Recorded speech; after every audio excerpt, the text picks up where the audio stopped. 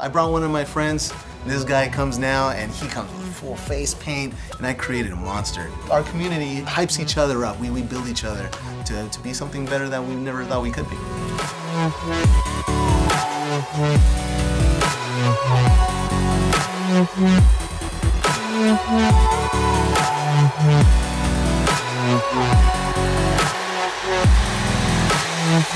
I'm Maddie. I am known as Zelda Ert online. My name is Tyler Dacey, and uh, in the arena I go by Steel Trainer. My name is Gladius and I'm here for the Gladiators. I've got my little bag I can take into the arena with me. I've got my signed jersey. I've got our rally flag. Um, that'll be fun later in the arena, get people going.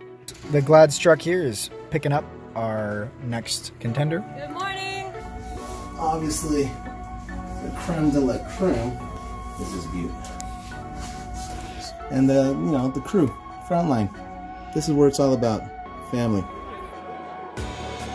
I was a big fan of Overwatch just from uh, the beginning. When the game first came out in beta, I was playing. I played at a collegiate level with my college with some of my best friends, and that was the greatest experience I think I've ever had. I started watching some streams of the pros, and the pros were amazing. And one of the biggest guys I saw was awesome was, was Hydration. He was part of the Gladiators. Suddenly I'm at every game and The beautiful LEDs, the cheers of the crowd. it shields up. It's it's thunderous applause. It's roaring in the arena. It's a lot of clap, clap, stomp, stomp. It was just amazing, You just kind of get sucked into it. and I've been hooked ever since. Shields up! Shields up! Shields up! Shields up! We have such a broad, diverse group of people in one space. There's people older than me, younger than me, um, people coming from no sports background that only play games, or people that only know real life sports and are kind of feeding themselves into this esports world.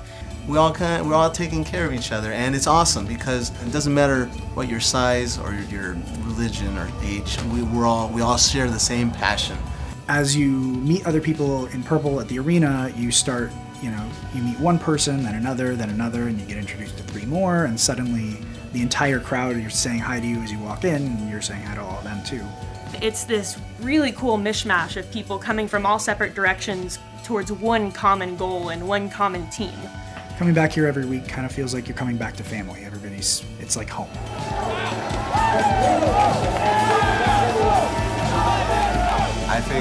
Every team needs a, a mascot and i said you know what i want to jump on it before anybody else does And i want to make something awesome something people can really go cheer with you know so i made this um, as you can see gladius This is a Funko Pop Zarya that I have styled with the LA Gladiators team skin.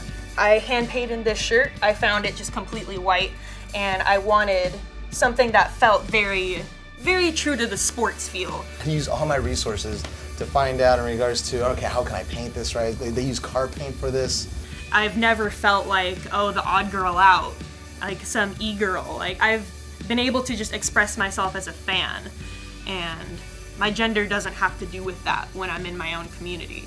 And that's made me feel really nice. i'm thankful i'm thankful for for frontline for allowing me to to do this to express myself in a way that i never imagined as an adult and it's great. I feel like a kid again so. So yeah shields up with this absolutely